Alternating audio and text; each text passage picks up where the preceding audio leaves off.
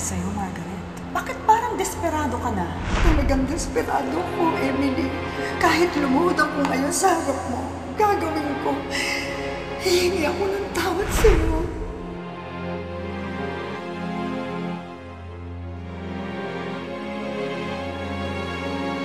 Ba't ganyan ka kumakatingin?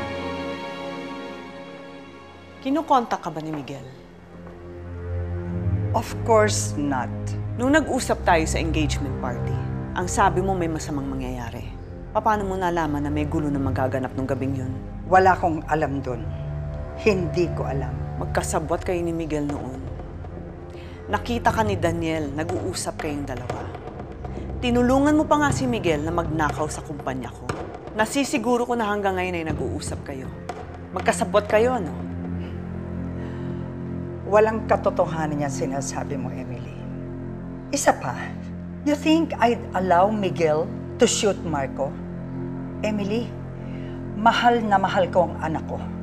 Mamamatay na muna ako bago ko hayaang mangyari yon.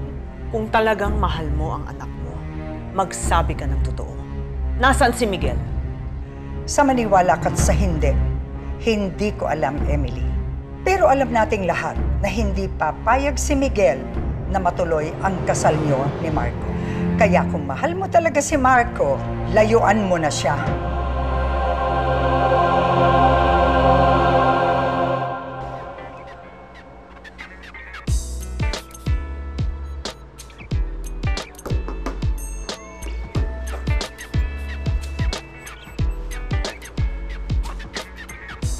Nasaan ka? Saan ka galing? Sorry, medyo busy lang. Sa sobrang busy mo, nakalimutan mo yung date natin. Kanina pa ako mukhang tanga na naghihintay dito.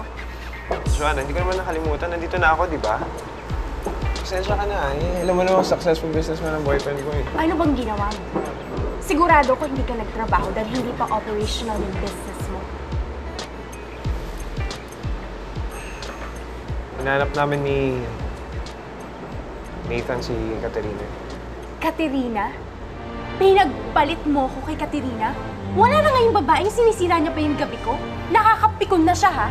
Joanna naman. Siyempre, kapatid ko yun eh. Alam naman wala akong gawin na hanapin siya. Sorry na.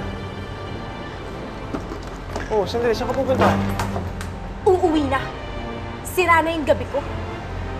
Pati sa'yo, parang nakikipagkompetensya ako kay Katerina.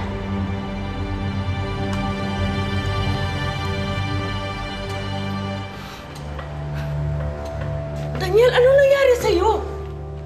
Wala tol. At manang Henya, binubugo siya ng mga hold-upper. Naku, inireport niyo ba sa mga pulis? Ang, ang ginawa ng mga hold-upper na yan? Lawag na ho.